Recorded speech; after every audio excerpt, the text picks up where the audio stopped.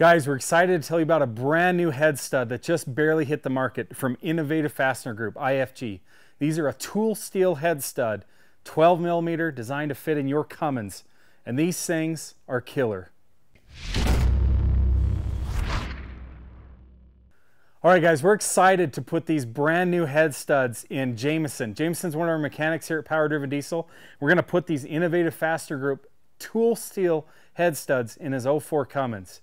This is a running street truck. It's actually his daily driver. So we're actually going to install these studs one at a time so that we don't have to compromise the integrity of the head gasket. We're getting ready so we can really crank up the power on his truck because let's be honest, you can't work here with a stock truck. And uh, Jameson learned that firsthand when he showed up with a, a, a stock tranny and a Smarty or something on there. We're like, that ain't gonna fly, dude. We gotta crank up the power. So we're gonna get the head gasket ready to hold some power. So today I got Jameson helping me. He can work on his own dang truck, so I'm not gonna do the install, but I'm gonna tell you about it. And uh, let's follow along here as Jameson puts these in. Okay, first off, we've got to remove the valve cover. Simple, few 8, 10 millimeter fasteners. Got the valve cover off. Next, we're undoing the injector harnesses.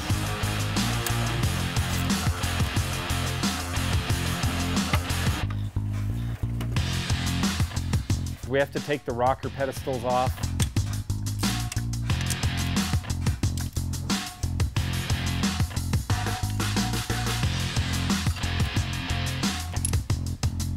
We're gonna go in the reverse pattern of the Cummins torque sequence, which starts in the center of the head.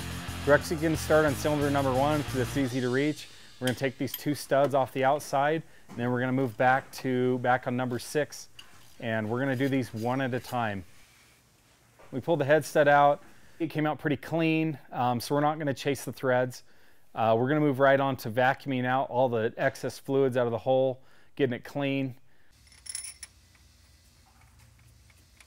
You'll notice these have a star drive on the top, not an Allen. Stars are a little better about not stripping. That's a nice little upgrade they put on these studs. Anyways, we're putting them in, we're going down till it bottoms out. Some guys like to back them off a quarter turn. We just like to go down snug, hand tight, um, so that they don't move around as you're getting up in your final torque sequence. We found if you back the studs off a quarter turn like you would for like an ARP or something, it seems like they just do a big jolt right at the end when you're torquing them in anyway. So we like to just run them down to the bottom. You don't want a lot of pressure because that puts extra strain on the threads when it bottoms out. We just want to go down snug and that's just perfect. So we're going to put a little bit of the supplied lubrication on them. It adds a little bit of corrosion resistance and uh, you know just helps them go down in the block nice and clean. Um, you want to be pretty liberal with this, put quite a bit on the threads, both sides of the washer, on the nut, really work it in there.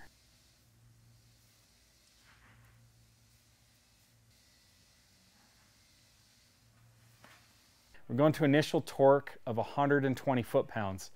Um, we're not going to the full torque spec because we're trying to get close to what the factory torque was. We don't want to crank this head down really tight on one spot. We kind of want to go in a nice torque sequence. So as we're doing them one at a time, we're just getting up close to where the factory fastener. Probably a little higher at 120, but it'll be okay. So now that we've got number one finished, we're gonna go back to number six. We're gonna work on a circular pattern, working our way into the center of the head. When you do a new head gasket install, you start at the center and work your way out. When you're doing them one at a time, you wanna follow the sequence in reverse and start from the outside and work your way in. Then once they're all installed, then we're gonna do our final torque starting on the inside working out. It's not super duper critical that you do it this way. I've seen guys do it backwards and have any issues, but generally, if you follow the way the factory wants you to torque it, you have a lot less chance of warping or having head gasket issues down the road. Now that all the studs are in, we're gonna do our final torque sequence. So we're gonna take the wrench right up to 130 foot-pounds. We're gonna start in the middle, and we're gonna work our way out one by one in a spiral pattern going out, starting between cylinder number three and four. We're gonna work our way out. Now that we have them all at 130, we're gonna hit them all at 150. Uh, sorry, we're gonna hit them all at 140, and then we're gonna finish up at 150 foot-pounds. Now we're gonna put the engine back together the same way it came apart. Be sure to retorque the rocker pedestals when you're putting them in. We like to put them, you know, 27. Some guys will creep them up around 30 foot-pounds, get a little extra stretch on that factory fastener, but 27 is sufficient for most trucks. One thing that's important every time you do head studs is there is a little shelf on the back of the aluminum rocker box that holds all of your injector harnesses and it will hit on a stud. You gotta remember a stud has a nut, a washer, and a little two threads of stud hanging up above it and so it will hit that shelf. So you see here, we're gonna take a die grinder and make just a little bit of clearance for that back stud on number six. We gotta make sure we set the valve lash. These studs clamp a lot harder than head bolts and it will suck the head down tighter. So your valve lash will tighten up. Okay guys, thanks for watching this video. We had a lot of fun installing these studs. We're not done yet. So, how did the install go? Really, tell us. It was really easy, nice and straightforward. So you've installed other brands of studs, very similar. Yep. No, no surprises. No. What's something you liked about it? I the it's kind of small, but they're uh, the package of the lubricant that they give with uh, the head studs is really easy to use. It's There's more than you get in other studs. yeah, I have like some left over. you have next leftover, set, so, so that's good. So that went a little well. What about the fit and finish? Did you like the Torx versus the Allens? How did that go? Yeah, no, that's nice. That grips really well on the fastener, so it's Torx is easy, good there. especially when you're reaching back in on number six. So I think uh, very good quality. They torqued really nice. They felt good. Yeah, how'd they feel in the torque wrench when you're getting in there? very solid. 150. Yeah, Felt similar to 625 probably when you're torquing them. Yep. Good. They should be. They're tool steel.